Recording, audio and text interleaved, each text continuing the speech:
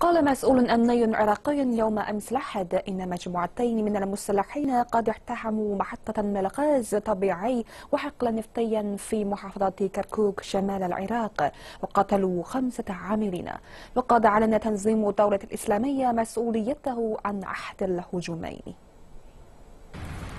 أشار المصدر الأمني إلى أن مجموعة من المسلحين قد اقتحموا محطة للغاز الطبيعي غرب مدينة كركوك صباح أمس الأحد وقتلوا خمسة عاملين بالرصاص وزرعوا عدة عبوات ناسفة قبل أن تتمكن قوات الأمن من استعادة السيطرة على المنشآت.